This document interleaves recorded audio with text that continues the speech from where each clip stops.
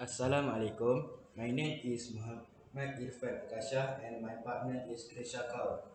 We are going to present our nuclear safety board.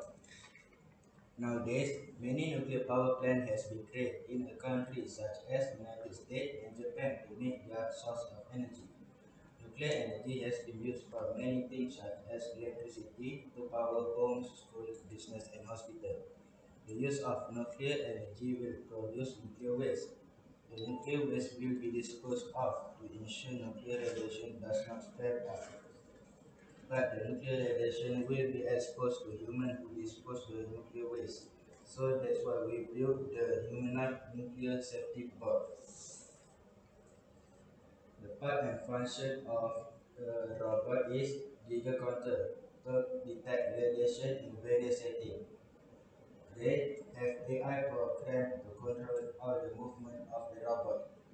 The structure for the body is stainless steel, has radiation immunity.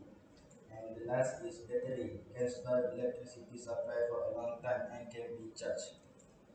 The future marketability is this is future robot system that can stand the exposure of radioactive even though the price are a bit expensive, but the robot is event for industry. That's all. Thank you.